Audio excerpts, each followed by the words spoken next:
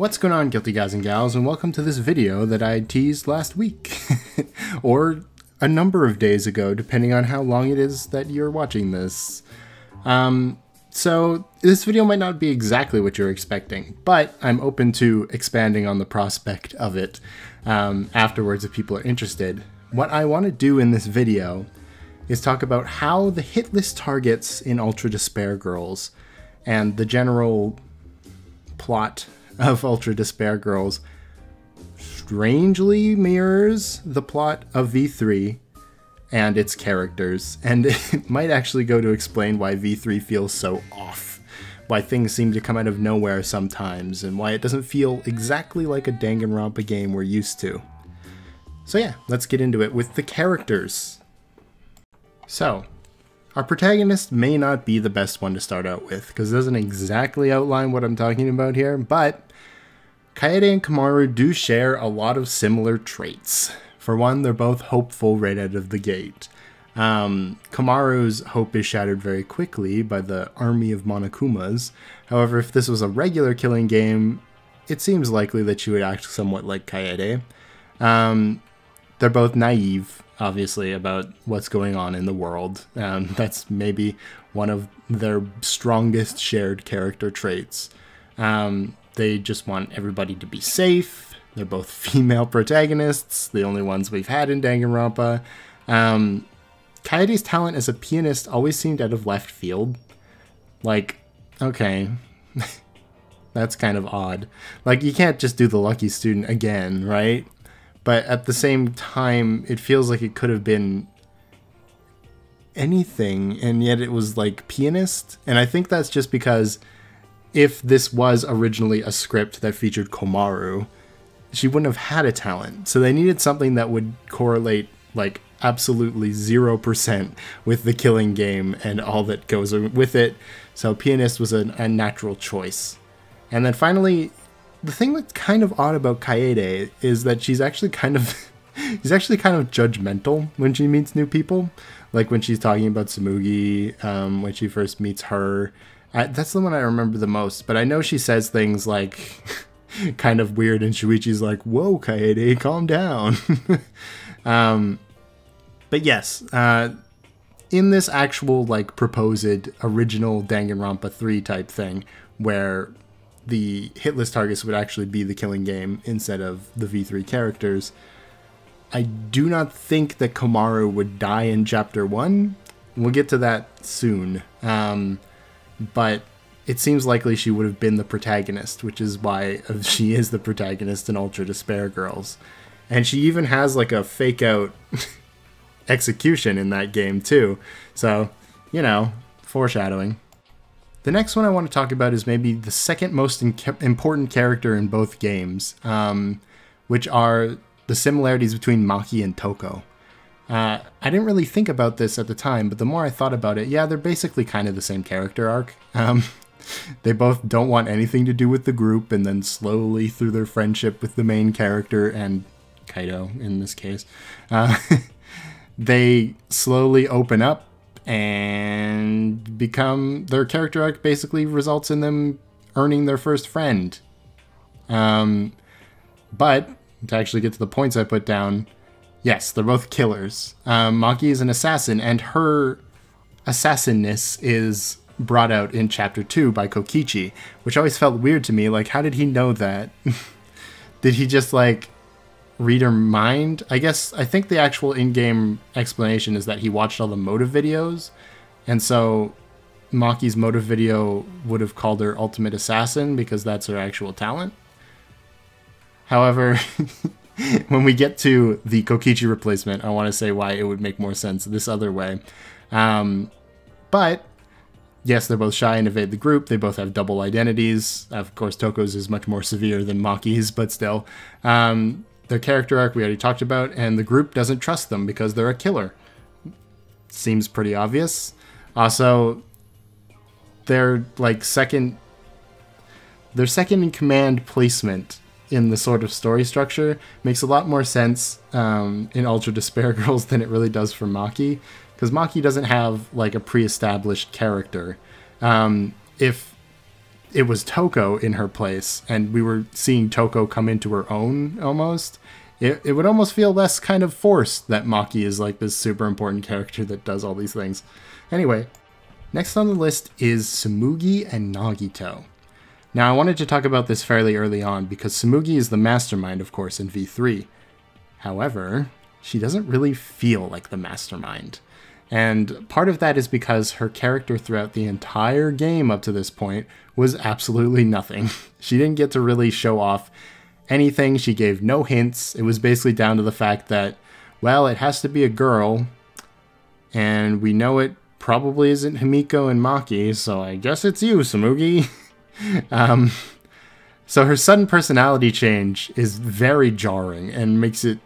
I guess that might be intentional, but for someone like Nagito who does this in the first case in Danganronpa 2, it feels more justified because it's A, the first case, and B, because he actually does something in that first case to cause a murder.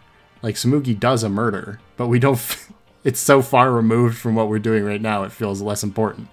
So, if Nagito, the servant, was one of the killing game members, which I came to as a conclusion because there were only 15 people in my uh, original set with all the characters from uh, the hit list plus Komaru plus Toko plus Haiji plus Nagito minus Kame- Kameko? I think Kameko? The stink bug. The stink bug can't be a character. I'm stretching it already by including the cat, but the stink bug simply can't be a character. So I think just like in Ultra Despair Girls, they would totally discount the fact that Toko's got this emotional connection with this stink bug, and Toko would basically take her place after um, Byakuya is held captive.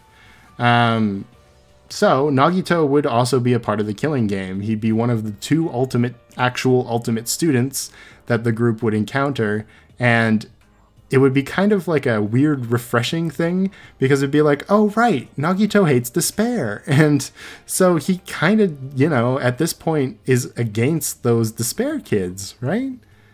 Oh so nagito's on our side this time sort of. I mean he'd still be against like komaru and people without talent but i think it would be sort of like um, how he kind of comes to an, a resolution with hajime where he's like, well, if hope can develop even in something someone as insignificant as you, I suppose that's something. but he'd be mostly focused on trying to get Toko to like achieve ultimate hope to her great annoyance. Um, but yeah, the final act like turn of their personality makes a lot more sense if it's Nagito because that's what Nagito does. he doesn't really like you expect it right? You're like, oh, he's being really nice to us. This this doesn't seem right. He's going to he's evil in the game that comes sequentially after this in canon. Something's going to happen, and of course, at the very end, he would side with the mastermind behind everything. Um, which, spoiler alert, isn't Monaca, but we will get to that when we talk about Monaca. Um, but yes, he'd have a sudden change of heart and he'd betray the group, and then they'd all be like, "Oh, come on, Nagito." Um, so he'd essentially be the traitor of this game, like the Chiaki or Chiaki's the a bad choice, the Sakura of the the game almost. Um, so yeah, this is the first big one. This was the one that I connected immediately that made me think that I should look into this more, and that is Kaito and Kenshiro. Um, so the weird thing about Kaito is that he has an illness that never really gets explained. Um, Tsumugi says, "Oh yeah, I gave it to him for the drama," but like, you're purposefully sabotaging your own killing game then, because if he's gonna die outside the killing game, you've literally just lost one potential member for your game, and that's no good. um, but so they both correlate in the fact that they both have this debilitating illness, right? And also that they're both strong um, Kaito is shown like they put a lot of emphasis on Kaito being strong. Like he goes to punch Kokichi at certain points, and then when his illness has progressed far enough, the thing that gives it away is that he's not able to punch Kokichi. Kokichi's like flips him or whatever, right? And that makes a lot more sense if the dude we're talking about is like the ultimate martial artist. I know Sakura is the ultimate martial artist, but this dude could beat her in a fight. He's the only dude who ever could. Um, at his best. And of course, he's not at his best right now. But he would, of course, realize immediately going to this killing game that, huh, I've got this illness. I don't know how long I got left. My life is not as important as the rest of these people's. So he'd be putting everything on the line to try to save them because why not? he, he's got nothing to lose, essentially. So, like, when Kaito rushes into danger at the beginning all the time, it would make a lot more sense if that was Kenshiro. Um, also, I do think, given his relationship with Sakura and how Sakura talks about him as being like this kind-hearted dude, that him like seeking out to help people does make sense. Um, in the same way as Kaito does, where it's kind of like, I'm gonna help you whether you like it or not, you know. Um, so yeah, I think they they match up like really well. It's surprising. Um, and that was the one that made me start on this whole thing. So we'll see where that goes. So this one is also very important, maybe only second to Kenshiro, because Kokichi makes so much more sense if he is Takaaki Ishimaru. Um, now, just a little introduction on Takaaki Ishimaru, because he's not as um, as known as the rest of the people we've talked about so far, right? He's one of the first ones that is like exclusively a hit list target and doesn't get referenced outside of it. Um, Ishimaru is a cop. He is Taka's father. Um, and the thing says he's got like a, a harsh sense of justice. Um, and he's willing to shoot the children like not just the, spared kids like the Warriors of Hope. He's willing to shoot the Monokuma kids in order to get out of there alive. Um, so, much like Kokichi, he's willing to end the killing game by any means possible. Um, and yes, that essentially correlates into them both being exceptionally paranoid of the people around them. Um, and so, skipping by the second point, because I already talked about it, he has an actual reason to discover that Toko is a murderer. Kokichi's is due to circumstances from the killing game, and it's kind of it's it's there, like it, it exists, but it, it, feels kind of forced, right? um, he breaks into everybody's rooms. He's this super important person suddenly.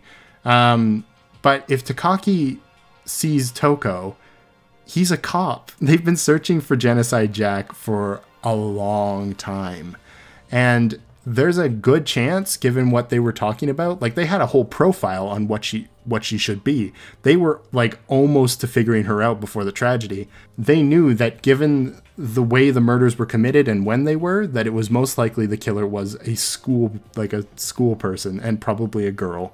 Um, so him putting together that toko might be genocide jack and just ousting her after the second case that actually makes a lot of sense and that actually would have been kind of cool, right? like, oh, this dude actually figured that out. Oh, he's actually like a force to be reckoned with. It would make him feel a lot more intimidating than, you know, Kokichi just watching a video. like a YouTube tutorial on how to discover assassins. anyway, the other thing Kokichi has that doesn't really make sense is his evidence room. Um, so you could just explain that away as, oh, paranoid. Of course, he's trying to connect the dots. He's trying to figure this all out. But it would also make a lot more sense if he was a cop with an evidence room, right? Using his room to collect evidence and make profiles on the characters to try to figure out who's trustworthy or not sounds a lot more like something a cop would be doing than a supreme leader. Even if he isn't actually a supreme leader, he's like a, a noble thief or whatever. That's Kokichi's role, essentially. Um, it still makes way more sense if it's a cop that's doing it. Um, and Takaaki would be very, very important as like the Byakuya of this killing game. He would oppose Komaru, who's willing to work with Toko, even though she's a murderer. Um, he would oppose like any mercy given to the killers in the class trials. He would oppose all of that. He's like uh, hypercritical Taka almost. So yeah, that's a cool character. I'm sad we never got to see it. Okay, So I've got less points for this one on the board because it's kind of hard to explain it in short form. So I'm going to long form it to you right now. So Shuichi and Fuhito Kirigiri. Um, so Fuhito Kirigiri, he's also a little bit more well known. Like he he has appearances outside the hit list. He is Kyoko's grandfather, and he is one of the premier detectives of the. I think it's called the Detective Something Guild. You know, from Danganronpa Kirigiri, that one. um, so this dude was the dude that essentially convinced Kyoko to hate her father because her father wouldn't become a detective. Um, and he hates his uh, Jin hates him right back because he didn't give any like care or attention to the fact that his wife had died. He was like, "Get over it, become a detective. Come on, give me your grand, give me my granddaughter so I can force her to be a detective." So he's described as kind and like sort of a gentle person, but he's also like obviously very emotionally manipulative to Kyoko and the people he takes under his wing. And that's kind of a cool character trait, too. Um, this also explains why V3 has duplicated ultimates. Why we have two ultimate detectives now. Because uh, he's a detective. you can't write, um, or you can't replace Fuhito's character with someone who isn't a detective. It wouldn't make sense. Um, it also makes a lot more sense of the fact that he would be taking someone under his wing. Um, like Shuichi and Kaede start working together for like literally just because they like each other. Which you know what, that was a good enough character arc for them. But it's a little bit cooler if it's Fuhito who's like, "Well, I'm going to. You seem to have decent intuition. You can be my understudy," and he's trying to solve the entire thing. I also think it makes a lot more sense for Fuhito to set up the trap to try to kill the mastermind. Um, in V3, it is, of course, Kaede who sets said trap with Shuichi's information, because Shuichi is basically acting in the role of Komaru, even though Kaede is also acting in the role of Komaru. It's just sort of a weird coincidence thing that's happening because they're both basically sharing the role of one character uh, for that first case. Um, but to me, it would make a lot more sense if the person who figured it all out actually planned the murder to kill them. Just saying. Um, so yeah, essentially you'd have like a first chapter where Fuhito is taking Komaru under his wing and training her in the art of being a detective. Um, and the sort of climax of that first arc of her not wanting to reveal the truth is that this dude who's been mentoring her just killed the guy and is about to get executed for it. So yeah, Okay, so next up is Kibo and Taichi Fujisaki. Uh, Taichi is somewhat of a main character in Ultra Despair Girls. He's at least featured as an actual character you can meet. Um, but the reason I connect them both is obviously they're both tech, like they're both tech geniuses. um, Kibo because he literally is technology, and uh, Taichi because he's like a computer programmer, just like Chihiro. Um, the thing that connects them probably a bit stronger than that, though, is the fact that it's mentioned in Taichi's like description um, that he doesn't, he's not very strong. Like he's smart, but he's not very strong. And for Kibo, it's almost the exact same thing. Kibo is smart, and he should be strong. He's a robot after all. But they make a point of saying, oh, yeah, I was programmed to be no stronger than the average elderly man and it's like a little side joke, like a ha ha ha ha, yeah, because some robot did something bad, and so they they toned down the strength of the robots. But it could also just be a cover for the fact that he was originally Taichi, who's someone who's not strong. Um, the third point I have here, the connection to the outside world, it's referring to Kibo's sort of like antenna and his connection to the audience who are basically influencing his decisions. That's not exactly the same for Taichi, obviously. He doesn't have an antenna that will be making him the audience surrogate.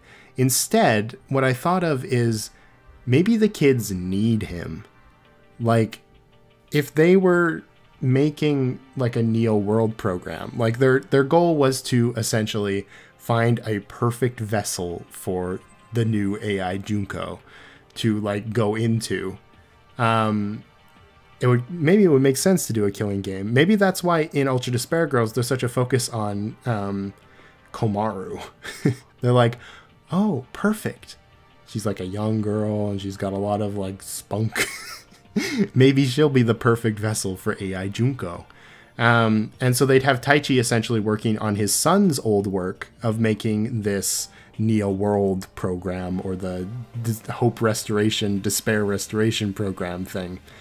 And it would be neat because it would essentially be Taichi thinking he's working with his son, like who's like captured somewhere, when in reality he's working with Alter Ego.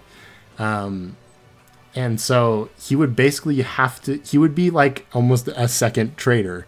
He would be forced to work with the masterminds because if he does, he like, he's being threatened with the death of his son, who is actually, unfortunately, already dead, but he's talking to alter ego um, inside like the neo world program and that would be the same alter ego we see in sdr2 so yeah maybe when that alter ego is talking about his father more context to that we thought he was talking about Chihiro because Chihiro made him, but maybe he's talking about Taichi because Taichi keeps calling him his son when he's working on it.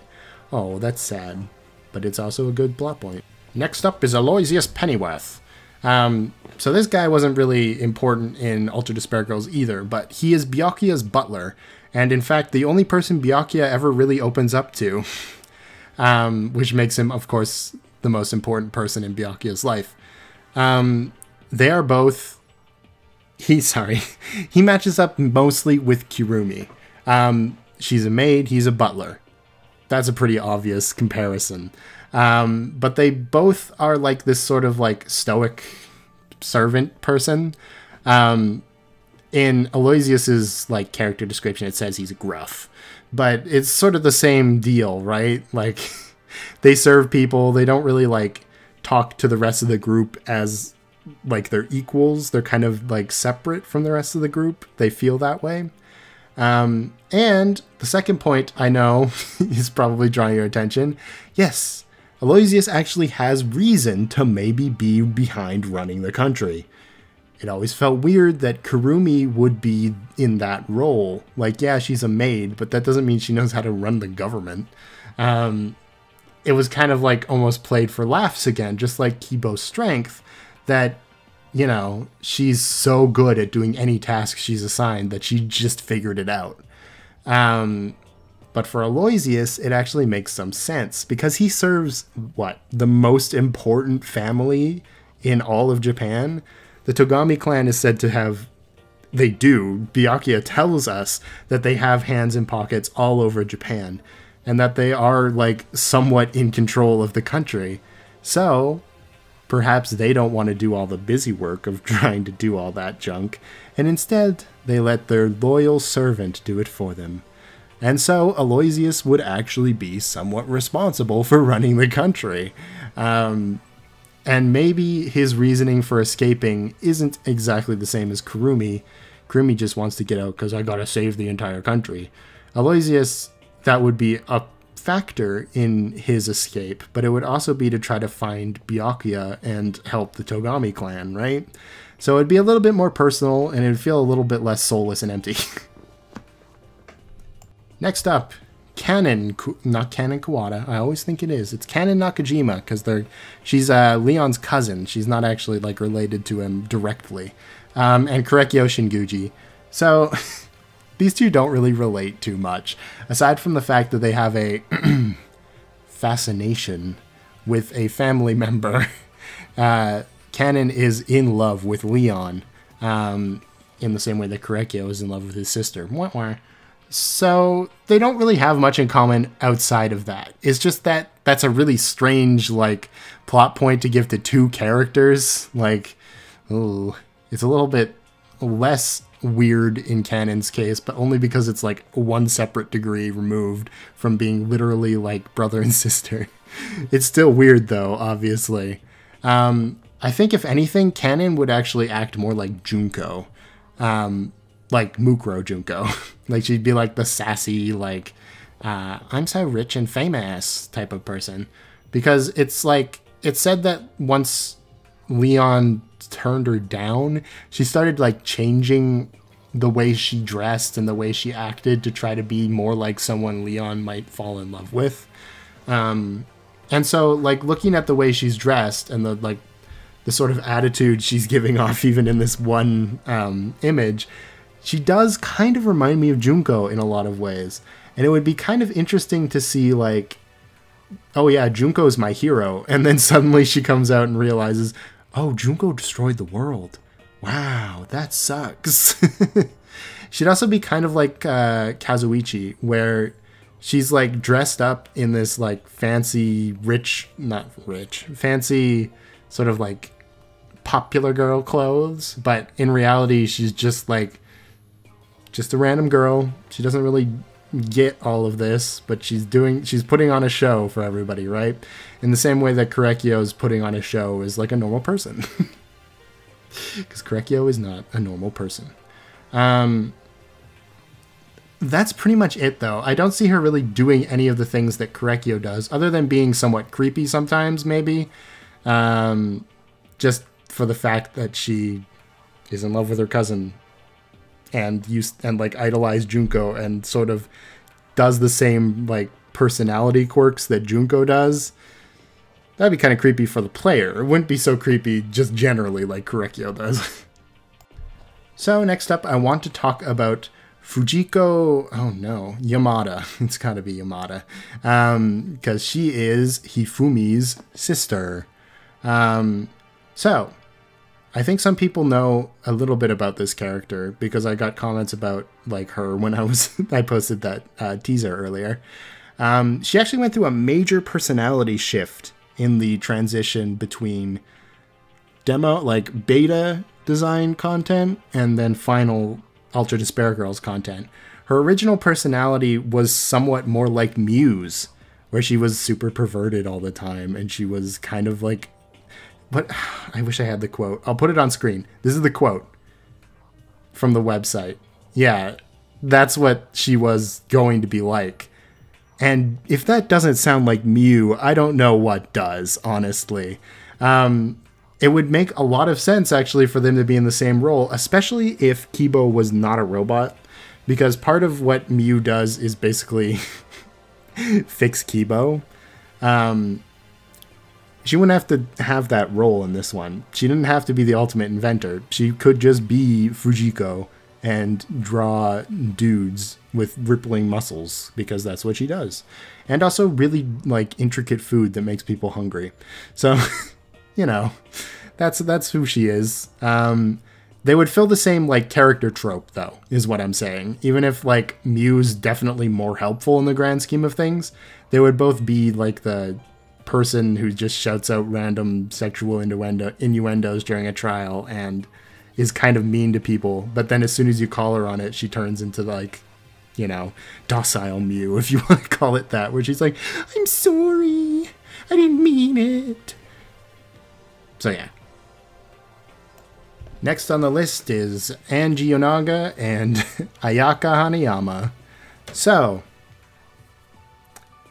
you might notice Ayaka doesn't have a beta sprite for me to use. That's because originally, um, in the same beta sprite sheet as the rest of these people, uh, they were going to include Sayaka Maizono's sister.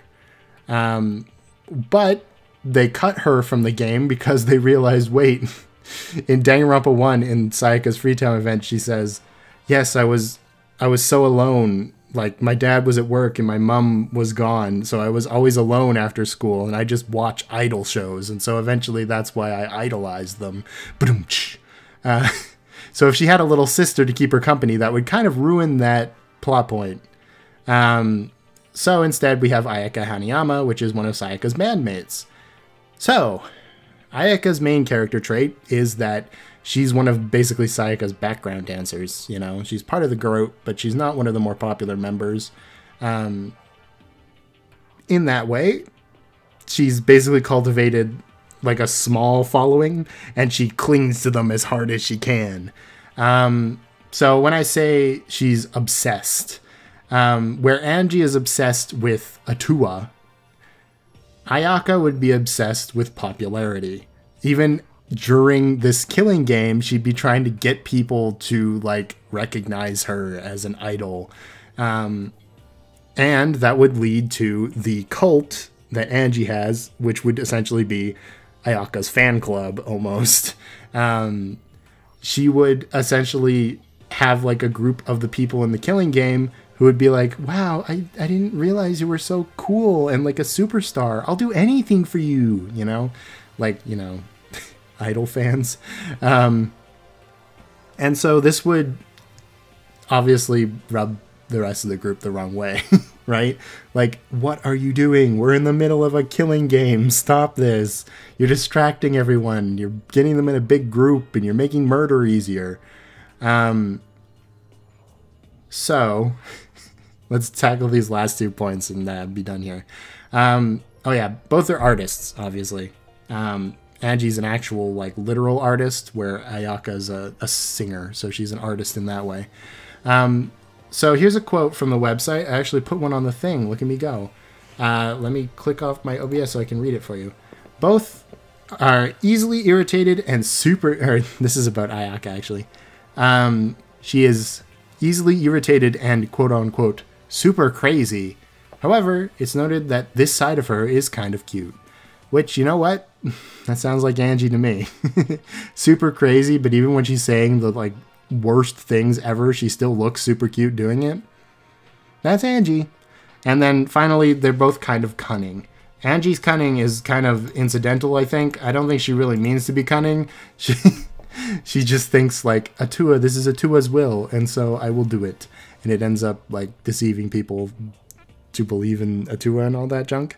Um, whereas Ayaka would be literally cunning. She would be trying to manipulate people into liking her and being her lackeys, essentially. So yeah, kind of like a Celeste, honestly. Next up is the weakest connection on the board. So this was actually the last ones I matched up because they didn't really match up that well. Uh, Gonta and Hiroko Hagakure, um, the only really thing they have in common is that both want to protect the group. Both want to protect everyone. Um, I didn't even know this. Like I played through the game and I didn't even know this, but Hiroko is actually a nurse. Um, so she'd actually be kind of a lot more helpful than Gonta when it came to protecting people. Like she could be able to help uh, Kokichi, quote unquote, when he smashes his head, or when Kaito is sick, she might be able to diagnose his illness or something like that. Um, but yeah, they don't really share much aside from that. Like, they just want to protect everybody. That's their role in the story. I really don't see Hiroko going down the same path as Gonta when it comes to like case 4, for example. So I like I like to think that some of the cases were completely re- rewritten when we were doing that when they switched to V3 from like this Danganronpa 3 that never was. Um, because some of the cases fit really well and some of them just do not. So we'll go over that after I do finish the character. So, we've gotten to the cat. Everybody was interested in how the cat was going to play out, and the cat would essentially fill the role of Himiko. Uh, a lazy, prideful cat who just, like, just there. Um, a lot of my criticism of Himiko's character arc is that she actually has a character arc, and then the character arc doesn't actually end up doing anything. She's like, I'm not gonna be lazy anymore. I'm gonna give it my all. And for like the next two scenes, she does, and then after that, she's just Himiko again. So for a cat, that would be a lot less of a problem, because the cat wouldn't even really realize it. The cat might be sad after Angie or uh, Ayaka and spoiler alert Yuki are gone. Yuki? Oh no, that's draw. Yuta. After Ayaka and Yuta are gone because like you know those were the two people paying the most attention to him. But he's still a cat so like nothing big is gonna happen. Um, also because it's a cat it actually makes a lot more sense of uh, like a Tenko Angie type feud. Because the weird thing about it is like Himiko is given no agency in their feud. Like yeah she decides to sit with Angie, but she never like talks to Tenko or says why, right? um, if it's a cat, mm, you don't have to worry about that. the cat just likes Ayaka better, and Yuta is just mad about it. um, I, I, I honestly don't see Case 3 going the same way as it does in V3, but the role of Himiko and Cheri uh, Ludenberg would be much the same. Also, one last note on Cheri. Um, Himiko's a survivor, right? Like the final three survivors are Shuichi, Maki, and Himiko. Um, with Tsumugi obviously being a mastermind and Kibo blowing himself up. So, that would leave us with Komaru, Toko, and the cat. So the ending from Ultra Despair Girls of just those two girls basically staying in the city it could be the exact same thing because the cat obviously doesn't influence it at all. It's literally just Komaru and Toko again. So yeah, I thought that was interesting. Okay, this one's a good one. So Rantaro and Haiji. Um, this is one of the cases that I think just fits. It fits really well with these characters from V3. Um, because the first case, of course, has Rantaro being killed by Kaede. Um, and he has all this extra information because he's the ultimate survivor. In this alternate version, Rantaro would be replaced instead with Haiji. Haiji wouldn't tell the group that he was Towa. He wouldn't tell the group that he was from Towa. He would just say, My name's Haiji. They wouldn't know anything about him. He'd essentially be the ultimate question mark, question mark, question mark, just like Rantaro. Um, they both have information the group needs. Haiji knows about Towa. He knows Monaca, and he knows that Monaca's doing this. He doesn't tell the group because that would ruin his family name, right? If he can get out of this without telling the group that Monaca is related to him, he is a-okay. That's great. Um, however, I think the reason that Monaca would have to kill him, because Monaca is standing in place of Tsumugi in this case, the reason Monaca would have to kill him, um, even if Fuhito's trap failed would be that he was basically saying he was going to expose Monaca as like a Towa family member. He was going to tell the group everything. Um, and so Monaca needed to silence him, and thus the plot was sort of contrived. Um, so that's the group information the group needs point. Both come off as creepy. It's true when I first played through V3 and I was talking to Rantaro, I got like really bad vibes. I thought he was evil for sure.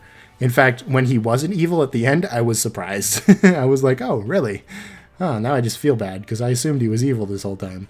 Um, and Haiji, he gives off the same vibes. Like he's like, yeah, I'm I'm a Towa dude. I'm I'm cool though. I'm helping all these adults escape but you're like, there's something to this guy. I don't like the way he's looking at me. so yeah, they both give off the same creepy vibes. And of course, I already talked about it, but they both have a reason for the mastermind to kill them, um, which is, of course, their information, and in Haiji's case, to silence him. Okay, this one's minorly weak as well. Also, I have an extra hyphen. don't, don't look at it. But uh, Takemichi, I can't remember his last name, Yukiharu? Something like that. Um, he is Mondo's bodyguard. He's said to be like the um, the cool-headed sort of advisor to Mondo's hot-headed uh, aggression. Um, so you you know like without him, Mondo ends up doing what Mondo does in Trigger Happy Havoc. So he's like really important to Mondo. Also, you know what that means? It's a gang tie, right? He's part of a gang. Um, and Ryoma is known for murdering a gang. So that's one little connection. It would also make sense for Takemichi to think that everybody he knew was dead. He could have seen the um, Monokuma despair followers, whoever came and kidnapped these people, murder all the gang members, like the biker gang members of Crazy Diamond, and had been like, damn, I could do nothing to stop that. And they took Mondo. Like that was the person I was supposed to be guarding. Um, and so it would also sort of make sense for him to want to give up his own life. He is a bodyguard by trade, after all. He's someone who's obviously used to that sort of um, reality. Uh, it could be that he's basically like, well, if y- if there was like a first blood perk thing, it's reasonable to think you would say, look, like the entire gang is done. I have no idea if Mondo's alive. Kill me, go out and try to save everyone. Like save all the family members that are trapped in that other thing.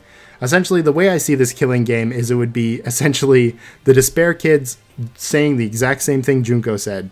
Instead of it being Junko saying, Look, all of your family members, like Komaru, are trapped and I have them and I'll kill them if you don't do it.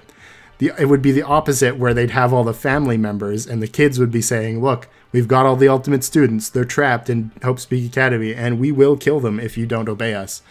Um, because of course these guys wouldn't know what happened in the killing game. Toko would, but Toko would be just like Toko and Ultra Despair Girls and not want to give them any information. Um, because god damn it, Toko.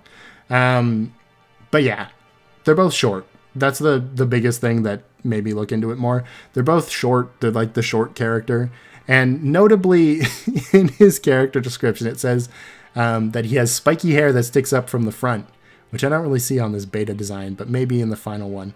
Um, and the most notable feature on Ryoma's head is those two spikes. It's pretty loose, but it's something. I had to say it just because it it made me think that's a funny coincidence. Anyway, yeah, these two would be basically the same role. Okay, next up we have Tenko and Yuta. So aside from the men hating thing, Tenko and Yuta are very similar. um, they're both athletes, obviously. Um, Tenko is, of course, an actual martial artist, essentially, um, whereas Yuta is like a is he a track and field dude? Can't remember what he does. He might also be a, a runner, I think, but he's also decent at swimming. So you know what? he's just an all around athlete. Um, but both are like pretty like hopeful and pretty understanding. Because you know how Tenko has those weird moments that go completely against the rest of her character, where she just looks at Himiko and goes, Huh, now that I've fought you, I know exactly how you're feeling. It's okay. Like that, like, empathy. Yeah, that would be Yuta. that would be Yuta in the situation. He'd be, he'd be like, No, none of you guys are bad dudes. No, I want to help you all out. Um, and I think don't quote me on this, but I think the case two in this one would actually be the death of Yuta. Um, case one is, of course, Haiji. Um, but Yuta makes way more sense as like the heart of the group. And he dies early in Ultra Despair Girls too. Um, technically, he's the second execution because the first one is Komaru, even though it doesn't work. Um, so, yeah. It would be a little bit different than Tenko, but they essentially fill the same character role, just like a couple of these other ones. Okay, now we're getting to the fun bit. So, Monokuma wouldn't be in this game. Um, instead, the role of Monokuma and Monomi from Super Danganronpa 2 would essentially be filled by Kurokuma and Shirokuma. Shirokuma would be like Monomi, he'd be popping up all over the place trying to help the, the group escape or help them with anything that he can, whereas Kurokuma would be just like Monokuma, constantly beating up on Shirokuma, calling him worthless, that kind of a thing.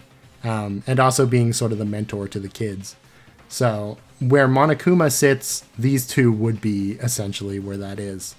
Um, also, they're kind of important because they lead the participants to think that there's someone like actually in control of the killing game, aside from the kids.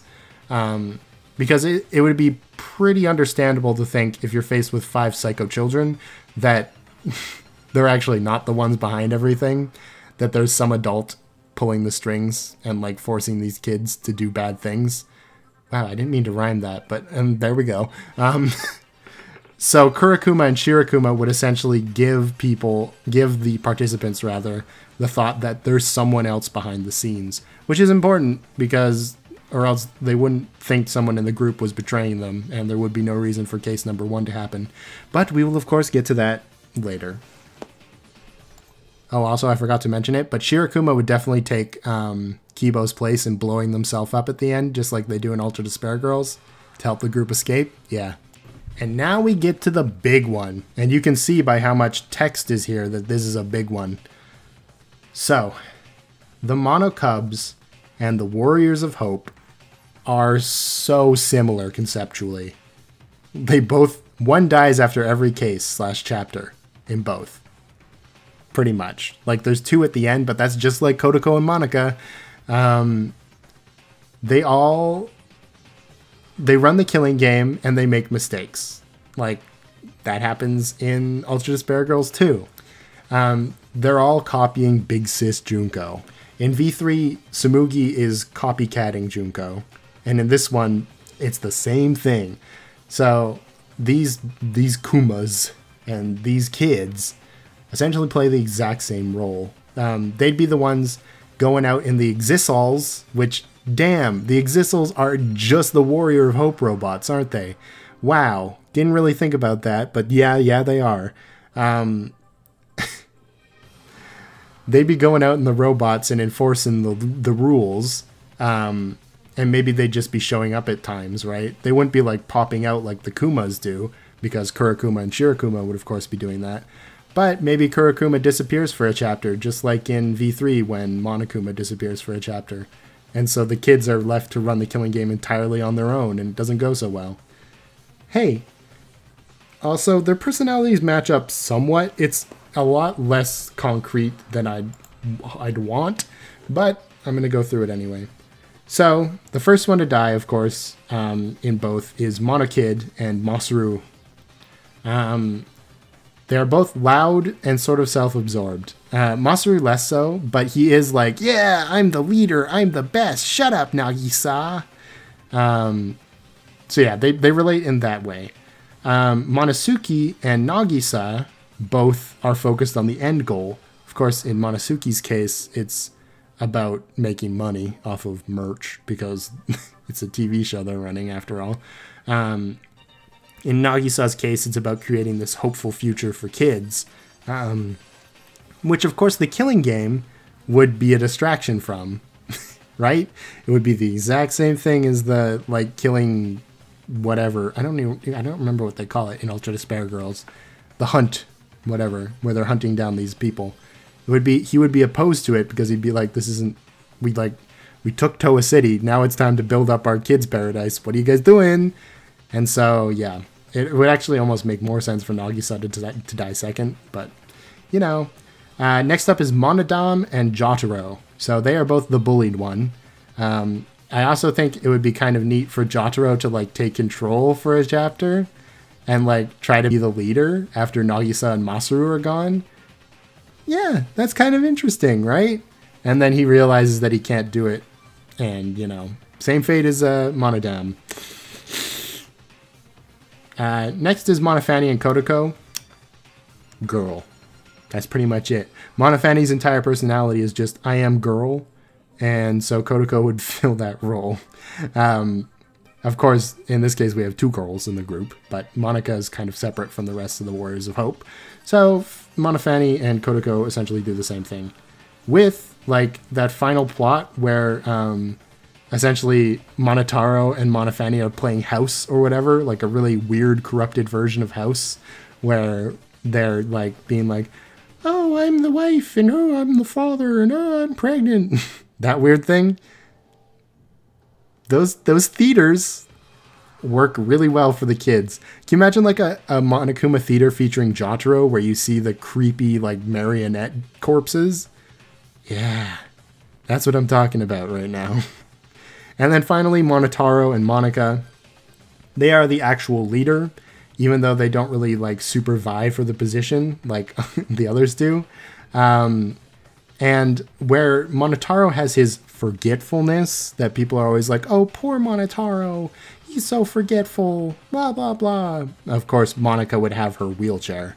Where it's like, oh, poor Monaca, such bad things happen to her. We have to, we have to help her. That sort of thing. Also, we'll get to Monaca in a second. Okay, so real fast, I want to list off some of the other similarities I just encountered while I was thinking about this, um, in no particular order or anything. We already talked about the Exisals and the Warrior of Hope robots essentially serving the exact same purpose um, there is a cosplay mastermind. Tsumugi is the ultimate cosplayer, but of course we see Monaca cosplaying as Junko in the anime. Wow. Didn't really think about that until just a couple seconds ago, honestly. Um, there's the ruined outside world, which of course that's always a factor in Danganronpa games. The secret exit. So um, that little platforming mini game in V3, I can't remember the name of it right now. Um, basically, it's important later, but it kind of just it's weird, right? It, it happens in the first case, and you're like, what is going on? But the secret exit in the shrine in Ultra Despair Girls could serve the exact same purpose it being blocked off at the end with some sort of door. Um, next is the Monokuma Army. So Mother Kuma in V3 is capable of creating this Monokuma army to like wipe out all the students if they don't start the killing game. Um, that's like their motive in case one. And damn, they have a Monokuma army in um, Towa City. That's what the entirety of like Ultra Despair Girls is about. So that's like really similar. The idea that like there's this Monokuma army raging around everywhere, um, and that if they do not kill, then that army will just descend on them and murder them all. Um, also, they could find Mother Kuma in like the Towa factory buildings or something. It would be really kind of more fitting than just a random room in a school. Uh, and then finally, I want to talk about the labs because the labs are also kind of weird. They don't really do much, right? They basically just provide the students with a bunch of props for the murder cases. Um, Shuichi's poison, Miu's like robot parts and Kibo's. Um, so similarly, there are buildings around Towa City that would function sort of the same way as labs. There's a library where Fuhito might do research. Um, there's a police station where like uh, what's his name? Takaaki might find files on genocide jack. All this kind of stuff. And the labs would essentially just be stores and buildings and public services. So yeah. Now we're getting into the final part. This part is what i've got less notes on um, but i want to talk about the ending. So how would this killing game end it couldn't end the same way as Ultra Despair Girls, right? Um, but I want to say that it would be very similar. It definitely wouldn't be like V3 though. so the ending of this Killy game would see Toko, Komaru, Nagito, Taichi, and Cheri Bois Ludenberg as the final survivors. If they we followed V3 exactly, which I don't think we would. Um, and it would see them going up against A, Monaca, after they defeat Monaca as like the first act, um, in the same way you defeat Tsumugi in the first act of the final trial, and then you kind of have to defeat Danganronpa. Um, they would defeat Tsumugi in the first, or sorry, Monaca in the first act, and then who should arrive but Izuru Kamakura. Something that bugged me about Ultra Despair Girls is they show Izuru, but you never see him. You never talk to him. It would be the perfect time to develop Izuru as a character. And wow, that would be like a killer ending, right? Because you gotta you gotta acknowledge that the fact that this would be the third game. So if we were like progressing in terms of seriousness, the the second game ends with essentially the death of Alter Ego Junko and sort of the end of the ultimate despairs because they've decided to, you know, be reformed. Um, and so this one would actually be the climactic moment.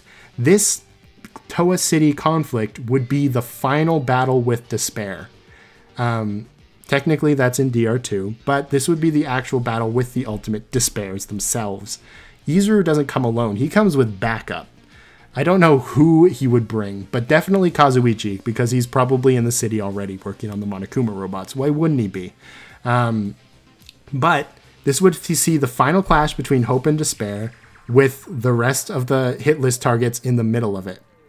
You'd have Toko and Komaru on one side, the cats just nothing, but Taichi would have to side with the masterminds or with the despair people because, you know, his son is on the line and he's not willing to risk that. But for Komaru, it's easy. Her brother shows up. Future Foundation shows up to try to defeat the ultimate despairs that are left and coming for whoever's left. Um, of course, the catalyst for this battle is the fact that Monaca is defeated. As soon as Monaca is defeated, all the pressure that is on Future Foundation not to show up because of Byakuya is dispelled. They don't have to worry about that anymore. So they rush into the city. We see, like, I don't know if it'd be everyone, but we see the kids from Danganronpa 1, and they show up to the trial, as well as an equal number of despairs to oppose them, along with Izuru. And of course, Nagito and Taichi would have to side with the with the despairs because of course Nagito is going to follow anything Izuru does. Izuru is like the ultimate ultimate. He is fascinated entirely with Izuru as soon as he sees him. Um, and so it's a split decision. And oh, it's the perfect ending to the new feature featured in this third game, the Scrum Debate. A final Scrum debate between hope and despair to try to convince Taichi to leave them and try to finish despair off once and for all. It would be it'd be such a cool way to integrate this new mechanic for the final battle. Um, and so in the end, we'd have Future Foundation winning, of course, um, this final trial and capturing the ultimate despairs of the thing, including Izuru and Nagito, who would, of course, end up on a boat later that evening talking about, you know, whatever to each other about their rotten arms and junk. And we would have the perfect impetus for Izuru to have the two pieces of Alter Ego Junko to be captured by Future Foundation. It would be just an, a smooth transition directly into SDR2 after that.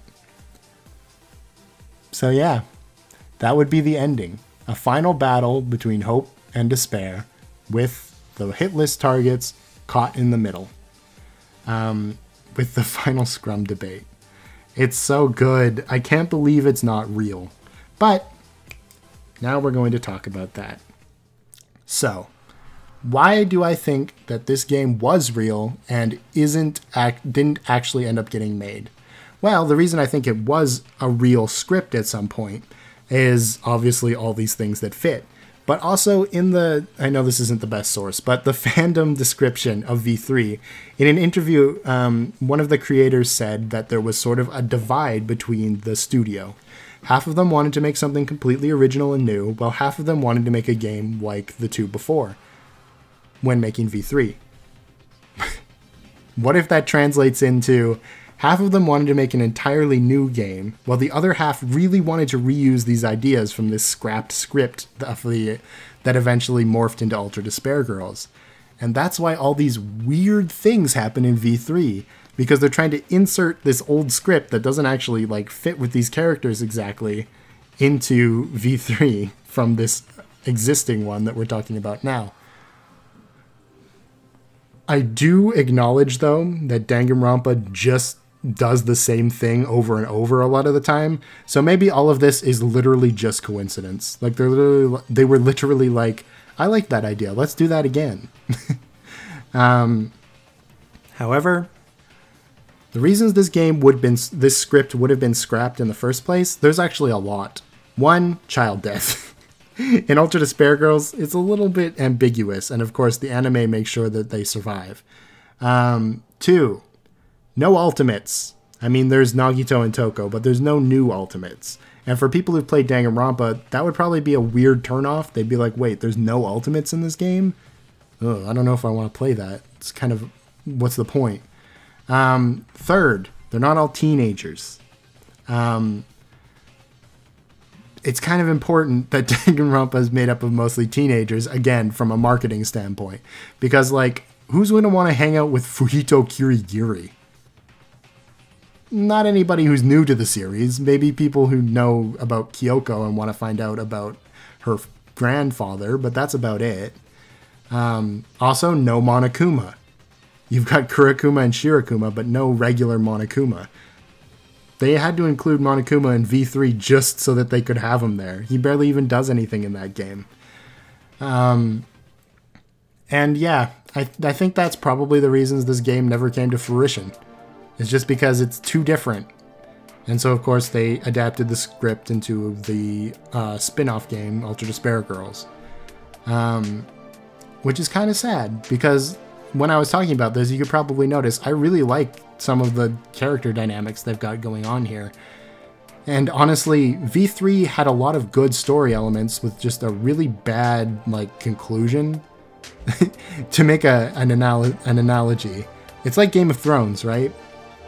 You're really into it for the first part of it, but as soon as you get near the end, you just it just makes stops making sense, and so you give up on it. Um, and I think this would have been a really cool way to cap off the Danganronpa series instead of the stupid anime we got instead, which I despise. So yeah, that's basically the gist of this video. Um, I'm sure there's more you'd want to question me about. Maybe this was all explained in an interview at some point, and I'm totally wrong. I don't know. I was just drawing connections between characters and stuff. So it's a fun thought experiment, if nothing else. Uh, so yeah, tell me down below if you think this would be cool, and if you want to see me do videos on my own made-up cases for this game, because I have a pretty good idea for a couple, and uh, the final case, of course, would be pretty neat. So yeah, thank you guys so much for watching. If you did enjoy, please leave a like and you can subscribe. Of course, if you want to see those other videos and you want to tell me to make them, then you're going to have to subscribe to see them, right? So, stonks. And yeah, I will talk to you guys soon. Okay, bye.